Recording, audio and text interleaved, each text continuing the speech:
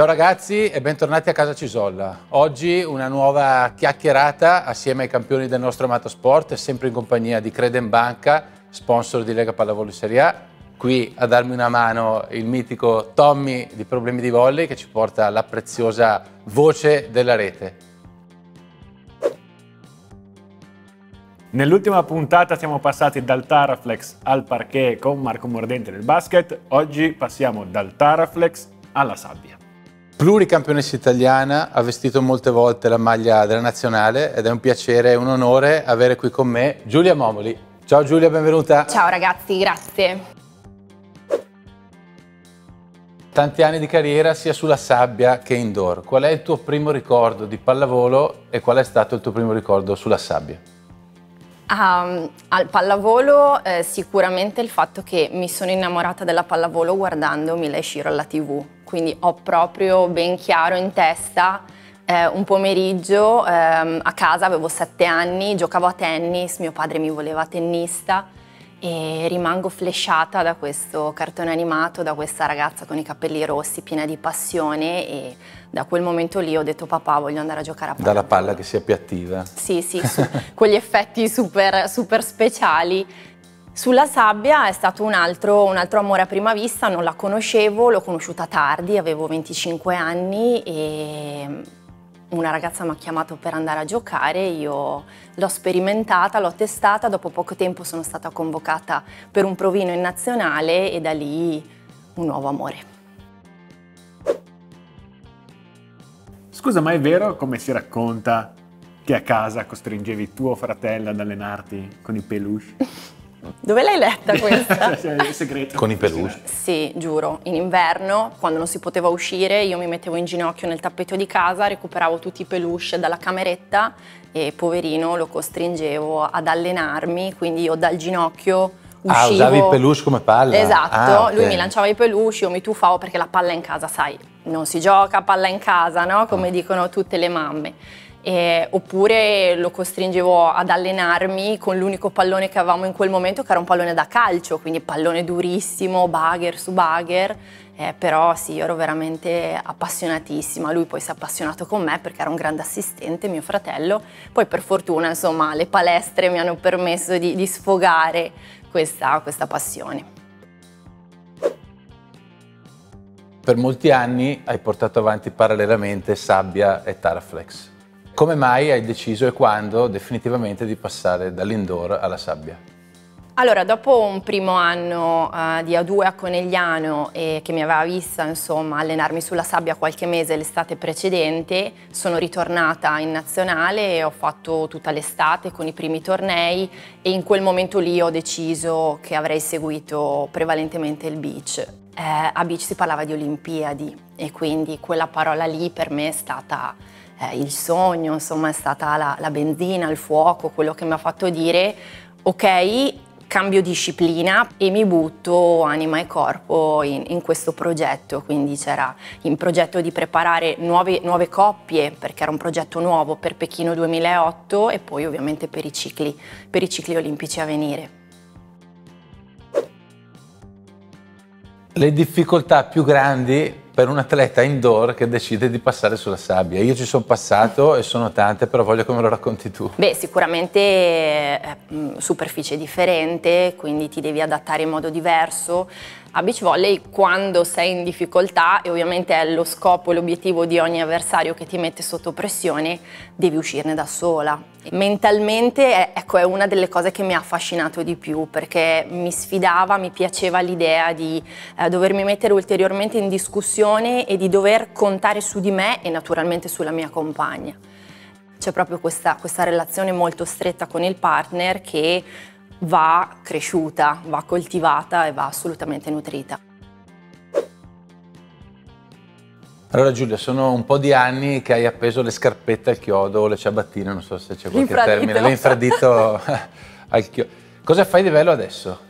Adesso mi occupo di mental coaching, nello specifico sono una sport coach, quindi eh, lavoro con atleti, allenatori, dirigenti, genitori di giovani sportivi, eh, quindi con tutti gli attori della performance. Mi sono appassionata a questo, a questo lavoro, a questa disciplina, a questi studi quando ancora ero un atleta in attività eh, perché ne ho proprio sentito l'esigenza e quindi ho iniziato a studiare questo per traslarlo alla mia attività di sportiva per sentirmi una sportiva ancora più completa, dopodiché è diventato a tutti gli effetti una professione per me, quello di cui mi occupo oggi e che mi rende profondamente felice. Finita l'attività agonistica, come cosa ti fa stare bene, come hai trovato il tuo equilibrio al di là dello sport e cosa consigli ai giovani che si approcciano a, a questo mondo per trovare un po' il loro equilibrio? Cosa mi dà equilibrio oggi, cosa mi, mi, rende felice è quello che faccio. Sicuramente l'amore, quindi nel mio, nel mio attuale compagno Gianluca, con il quale abbiamo costruito una famiglia. E ho trovato proprio l'armonia tra la mia vita personale e la mia vita professionale, quindi faccio un lavoro che mi appaga tantissimo, che mi nutre molto, che mi tiene a contatto con il mondo che ho amato da sempre, che è quello sportivo, e quindi per me poter accompagnare eh, gli atleti, gli allenatori nelle loro vittorie più importanti o nella gestione di qualsiasi loro difficoltà è veramente, è veramente un dono, insomma è proprio una professione che, che mi nutre, che mi arricchisce tanto e che mi permette di fare del bene di fatto, quindi questo. Per una ragazza, per una donna o per una mamma, questo percorso è davvero più complicato? Beh, eh, il momento attuale ci può far pensare che lo sia e a me piace pensare che lo sarà sempre di meno perché credo che insomma, ogni donna abbia, abbia diritto di, di scegliere, di decidere eh, di avere una famiglia e di mettere al mondo insomma, la vita, eh, anche eh, mentre è, è, una sportiva, è chiaro che ci vuole eh, un'organizzazione, è chiaro che ci vuole eh, comunicazione con la società di riferimento, però è, è, ovviamente un diritto di ogni donna e conosco tantissime atlete sportive, ehm, ad esempio nel beach volley, che si sono fermate per la maternità, hanno dato alla luce i loro bambini, poi sono tornate a fare la loro attività insomma, in modo assolutamente competitivo e, e professionale. E, la gravidanza non è una malattia, non è, non è un infortunio, è, è un dono grande, quindi penso che vada assolutamente rispettata. È il momento di flashback, sono andato personalmente a recuperare alcune delle vostre foto nei meandri del profilo Instagram. Vorrei che ci raccontaste un po' di dietro le quinte, un po' di eh, contesto della fotografia. Partiamo da qui.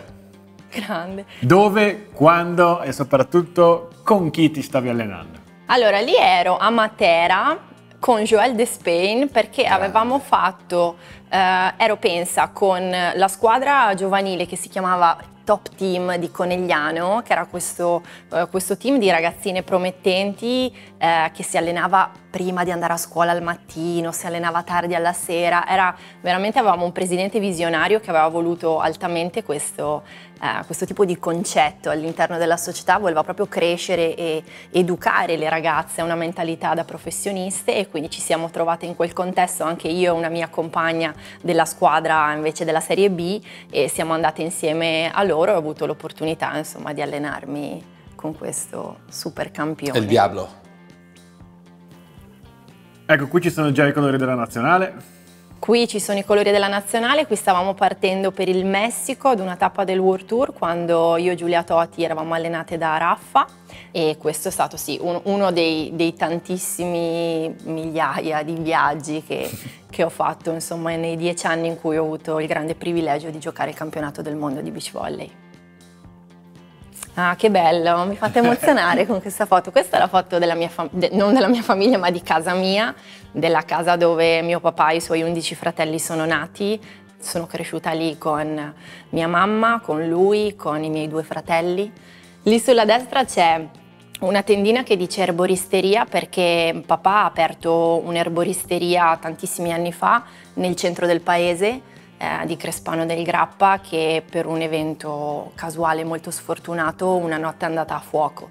E um, eravamo a casa io e il mio fidanzato dell'epoca, mio fratello era all'università a Padova, mia mamma stava cantando in chiesa, c'era mia sorella, ad un certo punto suona il telefono, eh, ci chiamano e, e gli dicono Gianfranco ci sono delle fiamme che escono dal negozio e lui corre su con il mio ragazzo di quel momento che lo accompagna, dopodiché dopo qualche minuto io e mia sorella decidiamo di affacciarci anche noi, di andare verso la piazza che distava poche centinaia di metri da, da casa e ci siamo accorte insomma che stava accadendo l'inferno, quindi in pochi minuti lui ha perso tutto, vent'anni di lavoro, vent'anni di ricordi che aveva dentro quel negozio, è stato un momento durissimo per la nostra famiglia, però insieme, mettendo insieme le forze, ricominciando veramente da zero, lui ha aperto questa attività molto più bella di quella di prima, in questa stanza della nostra casa che era da poco stata ristrutturata e, e quindi ecco, quello è il suo negozio, quindi la nostra famiglia e il nostro lavoro. Eccolo è il grande Sava, qua non mi ricordo neanche dove eravamo, forse era il periodo che Sava era venuto ad allenarsi con noi a Brescia eh, in uno dei suoi momenti tra un viaggio in Cina e l'altro per tenersi in forma e ovviamente io nel tentativo di, di accoglierlo come se fosse a casa mia, di metterlo a suo agio, insomma quello è un classico post allenamento nel quale mi riconosco e si riconosce di sicuro anche lui molto spesso. Cosa pensi di questo ragazzo, di questo giocatore? Eh, questo è un grande, Mattei Kaczynski, un, uh, un, altro vecchietto che è un po' meno vecchietto di me e riesce ancora ad esprimersi a grandissimi livelli.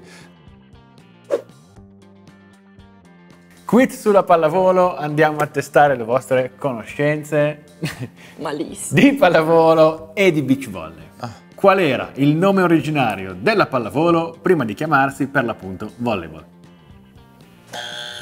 Giulia? No, era... Mm? Niente, ok. Tempo scaduto. Tempo scaduto era Mintonet. Mintonet? Mintonet. Eh, no. Tipo il badminton, un po' indeciso che era un nome un po' troppo femminile, tra virgolette. Ragazzi, qui non abbiamo Questo era studiato. molto difficile però. Eh, molto difficile. Professore, qua la cattedra Salito. ha fatto la sua. È salito in cattedra. Va bene, dai. 1-0 per Tommy. Come si chiamava l'allenatore despota di Milan Shields? Mr. Diamond! Eh, scusa, ma qua io ero un'appassionata Ciso e lì... Ammetto, ammetto la mia scarsa preparazione. E giuro, e giuro che in palestra avevo Enzo, che saluto, il mio primo allenatore, che era come lui. Chi è l'unico atleta ad aver vinto le Olimpiadi sia... Karch Kirali. Eh, questa la sapevo anch'io però. Beh, fai finire. Ah, scusa però. Vabbè, scusa. Vabbè, dai, facciamo i cavalieri. È lui, è giusto però. È lui. Lo sapevi anche tu, Ciso? Sì, questa la Sei sapevo. un ragazzo in gamba. Chi ha vinto le prime Olimpiadi di pallavolo? Beh, Ciso, se non lo sai te, figlio mio. Ah, io non l'ho mai vinta. cioè, è proprio una cosa a cui tendo a pensare il meno possibile. Quando sono state le prime Olimpiadi nella pallavolo? 56. No, no, lo ignoro. La Russia. V, bravo. Bravo! E femminile? Non guardare me, io... Ci arrivi, ci arrivi, lo so che ci arrivi. Il Giappone? Bravo! Chi è stato premiato MVP degli europei di pallavolo 2005? Sei tu? Ma che carino! Guarda, vedi che la sapevi? Vedi che la sapevi? Dai, grazie Tommy. Questo è perché siamo a casa mia. Bravo, bravo. Grazie davvero Giulia di essere stata con noi qua oggi e pensavamo di aver avuto un ospite e invece ne abbiamo avuto due. Eh, auguri mamma! Ne abbiamo due perché Mamma nella mia bis. pancia c'è un secondo, un, un secondo figlio, quindi, o figlia, non lo sappiamo, non lo sapremo, quindi sì, sono molto felice di questo. Io e Gianluca siamo molto molto felici di poter allargare la famiglia, quindi grazie per averci ospitate. Giulia. Ospitati. Grazie a te, è stato un piacere enorme, sei stata gentilissima e molto precisa, ma non avevamo dubbi. Grazie, grazie ancora. Ciao a tutti. Mi raccomando, per non perdersi neanche una puntata di Casa Cisolla, seguiteci sul profilo Instagram Serie A Credem e iscrivetevi alla newsletter.